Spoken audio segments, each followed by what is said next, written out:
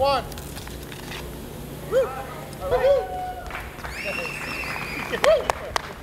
We now have a facility that's been upgraded to be able to test the largest commercial engine in the marketplace. This engine is for the Boeing company. This engine powers the Boeing 777X.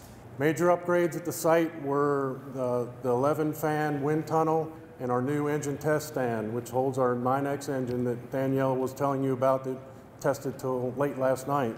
Our long-standing partnership with GE on this project, which began back in 2010, continues to grow stronger and break new barriers in testing the world's most advanced aircraft engines, while expanding capabilities into the areas of icing, endurance, and ingestion testing. Thank you for your, your vote of confidence and your investments in Winnipeg, in jobs, in high-paying, high-skilled jobs here in, in, the city of Winnipeg.